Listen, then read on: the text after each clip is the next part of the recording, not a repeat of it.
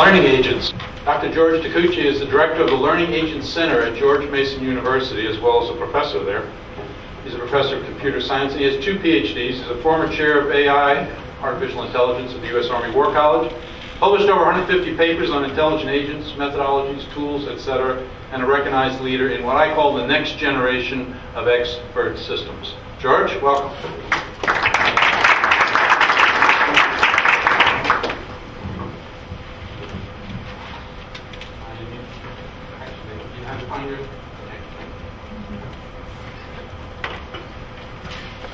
So I will uh, briefly review the uh, area of expert systems and talk about uh, new generation of systems uh, that are called learning assistants and present uh, two of the systems that uh, we have developed and their application in learning, education and training. First, let me introduce our research center. This is a university research center that conducts basic and applied research on developing uh, intelligent agents and also supports teaching in uh, the related areas of uh, intelligent agents, artificial intelligence, and their applications. And uh, what is unique about our center is that it develops uh, an approach to build these uh, intelligent agents direct, they are built directly by a subject matter expert rather than uh, a knowledge engineer or computer scientist. And uh, uh, we also uh, are interested in, in a full cycle uh, starting from basic research to developing tools, applications and transitions. And what I'm presenting here is uh, the work of many collaborators over many years. So what are expert systems? these systems the, the, first one uh, were developed uh, in, in 70s and 80s. Uh, uh, was big excitement. These are systems that uh, incorporate human problem-solving knowledge uh, and allow them to perform a task that would otherwise be performed by a human expert. And such an expert system could be used um, to support a human expert to perform a task better or may perform an expert task for a non-expert user, or may teach non-expert users how to perform a task. There are many uh, uh, success stories uh, uh in the history of expert systems. Uh, uh, one of them, for instance, logistic programs developed by DARPA um, it was uh, reportedly uh, said that it saved uh, during the uh, Gulf, uh, Persian Gulf crisis of 1991 uh, more than the investment that DARPA did in artificial intelligence.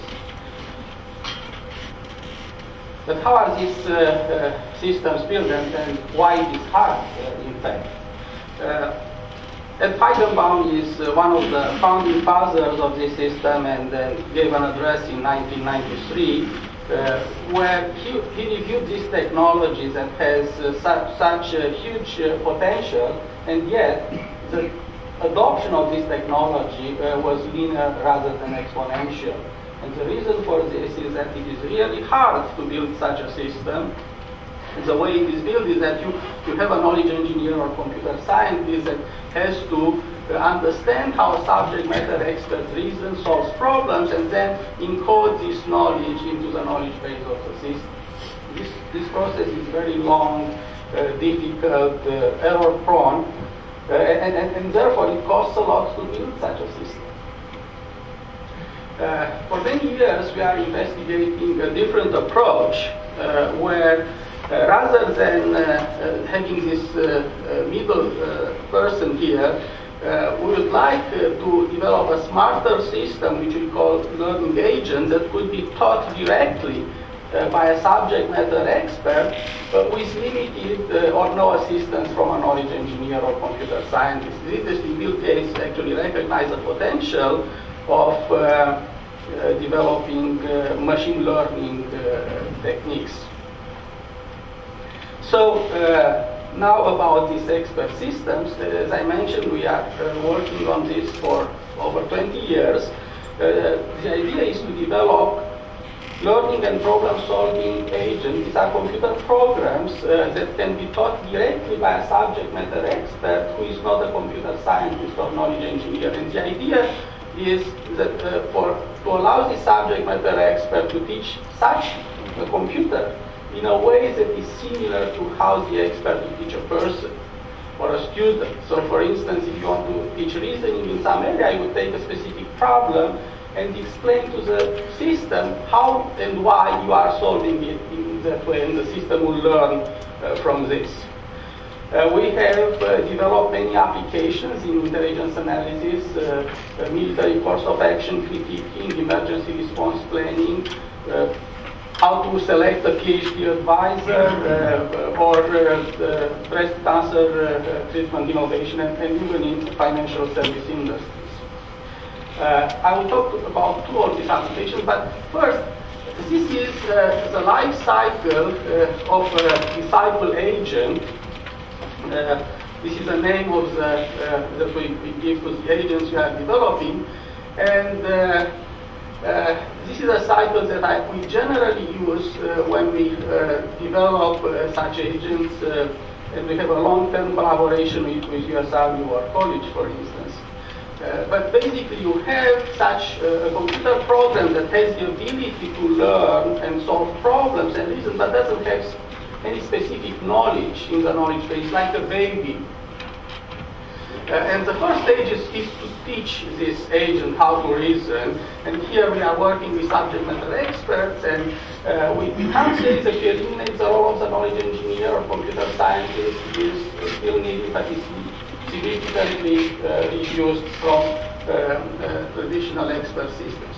So so first you teach this agent, and then the agent, and in this case, for instance, our experts, some of our experts are, are, are professors at U.S. Army War College, uh, and, and, then this system is used in, in, courses at the Army War College as, as a kind of tutoring system, helping the students how to um, uh, solve some type of problems. Of course, uh, the, there is a case study in Center of Gravity Analysis, and the students are high-ranking officers at the level of lieutenant colonels and colonels, and then they take this uh, uh, course and they use uh, such an agent as a decision support assistant. I will talk more about this application later on, and learn from how this system is solving problem, problems.